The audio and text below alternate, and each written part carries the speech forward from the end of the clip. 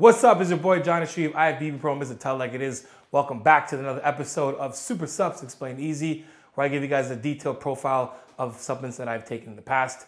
I'm currently taking right now and we'll probably take in the future. And before we get started, guys, make sure you know this is just purely entertainment, guys. Whatever happens after this video is pure on you guys.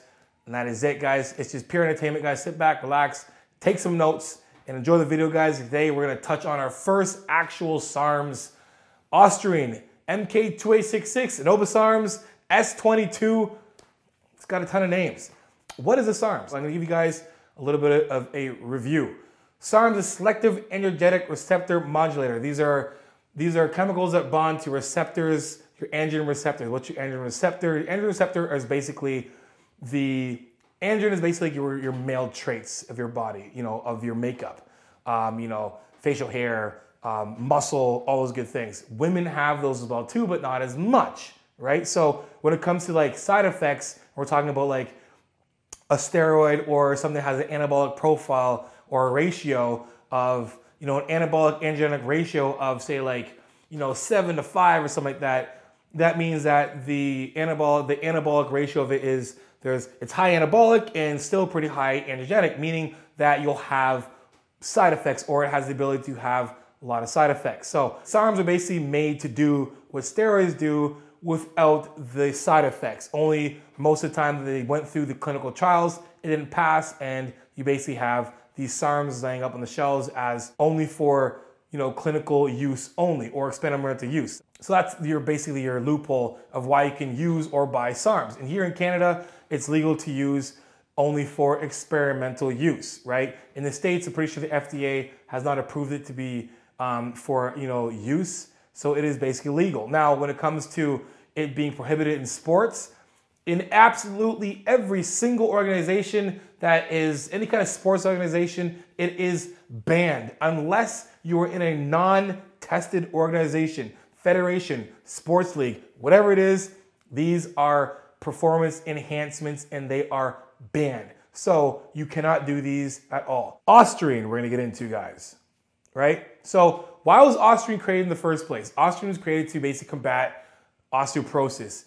Most, if not eh, um, all of the steroids or SARMs that were created were to combat muscle wasting diseases or muscle wasting ailments. You know, some that's, you know, has cancer, lost a lot of muscle, you know, osteoporosis, those kind of things, you know, burn victims, whatever. Um, a lot of these drugs are made to help build up muscle back up. Now, Ostarine itself has some very high benefits from it, not just from building muscle. Now, apart from its ability to build lean muscle tissue, it does actually help with your heart. So it does help lower your bad cholesterol or your HDL.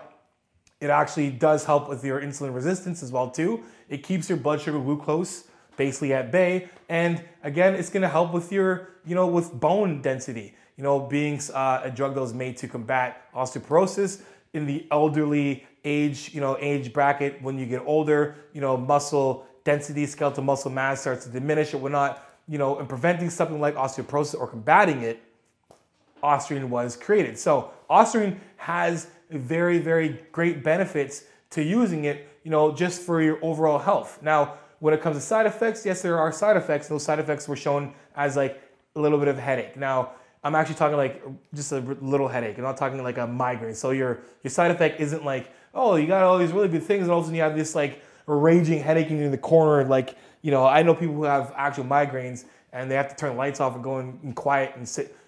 We're not talking that kind of a headache. We're talking like a minor headache when that can probably be mostly avoided by making sure that when you're doing something like this, Ostarine, um, rad, any SARMs, that you make sure that you are getting your proper hydration in and make sure you're not like, you know, drinking too. So if you're going to use SARMs or you are using SARMs, I recommend that you increase your water if you're not already drinking enough water and to not party as much.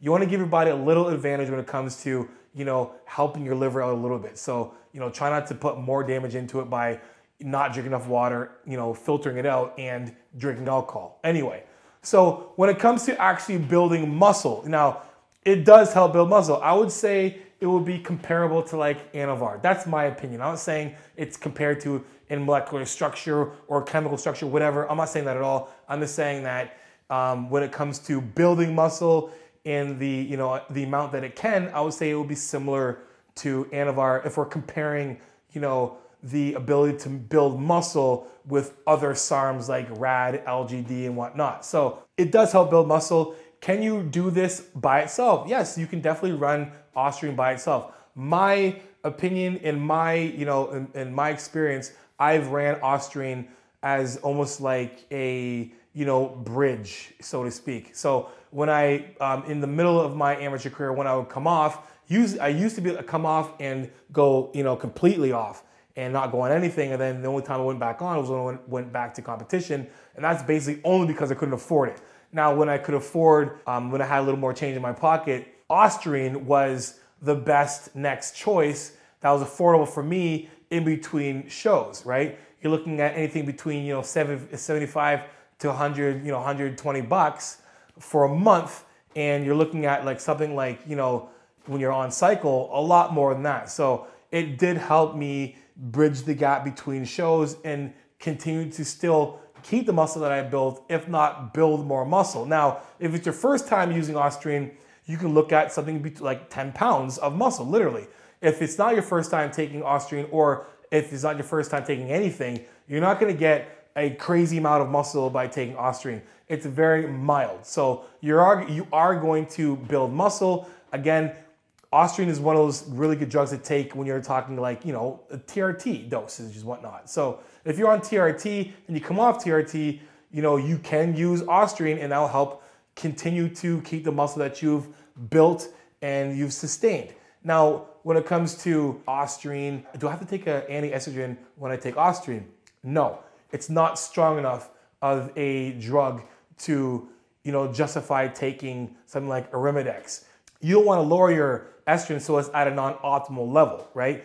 Estrogen's still good to have in your body. It's just like, you know, when it comes to women, women have testosterone in their body. They don't still have as much as men do. And men have estrogen in the body just not as enough as women do. So there's those were that's where you get your different traits and whatnot. So you don't want to totally diminish the estrogen in your body by trying to lower it because you're using something Ostarine.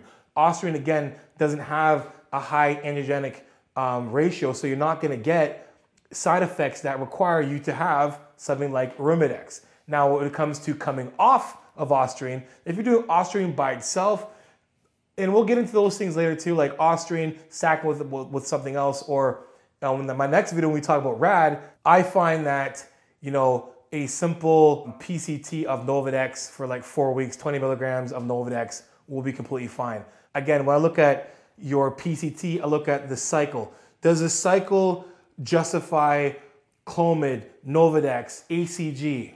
You know, I look at that, you know, this person says doing DECA and test and, you know, Tren and whatever for X amount of weeks. Yeah, probably do a, you know, a really good PCT um, and have, you know, some kind of anti-estrogen running throughout the cycle. When it comes to just running Ostarine, no not required, not necessary at all. Now, when it comes to like dosages and you know dose duration, again, we're talking about side effects most of the time, if not all the time, when it comes to side effects is dose duration, and again, obviously with the anabolic and androgenic profile or ratio, so to speak, sorry, that obviously if the drug has a higher anabolic androgenic ratio, then it's gonna have a lot more chance of side effects that will be accelerated by the dosages and by the duration. that makes any sense. So to make it easier for you guys, Ostarine is one of those things that you would run 8 to 12 weeks and be just fine. I don't think you need to run it anything more than 12 weeks. I don't think that you need to run any anabolic or any SARM or anything longer than 12 weeks. I find that that's when the law of diminishing returns starts to really play an effect. Is that dose duration? Do you need to do it that long and that much? No. When it comes to dosages, we're looking at for men and women, men between 10 to 20 milligrams, women between 5 to 10 milligrams. Now, if you're getting good results from you know the lower end dose, again, I'm gonna say this in every damn video we do. If you're getting good results, not even just if, when you get results from the lower end dose, stay there. Start small and then gradually go up if it's necessary. And I mean if it's necessary, like you know, you've been on 10 milligrams as a male for a month and you haven't really seen much of a difference, right? Then maybe go up. And if that's not doing it, then you're gonna have to find out if the stuff you're taking is actually real. That's gonna segue into that. And again, the availability of SARMs. What you're taking, is it real? Do you know? You don't know. How am I gonna tell you if it's real or not? I can't tell you.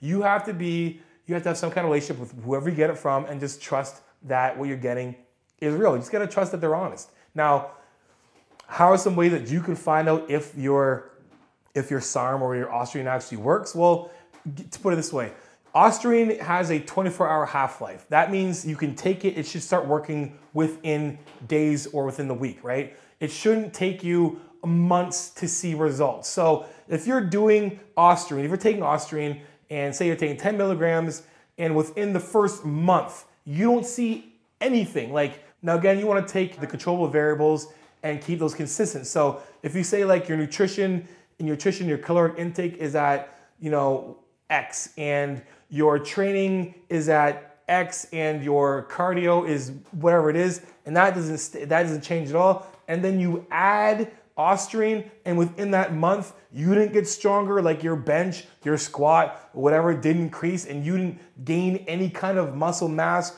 or weight or you can't see your, you know, um, your body composition hasn't changed at all, there, there's your answer.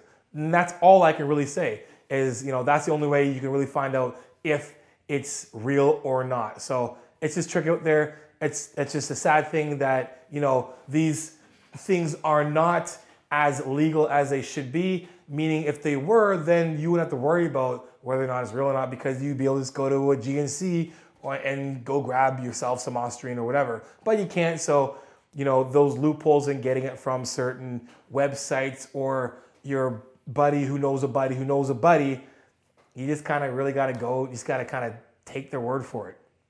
Again, do what I said. Look at, you know, make sure you're keeping an eye on certain things that are going on, you know, your own biofeed, your own research, your own findings.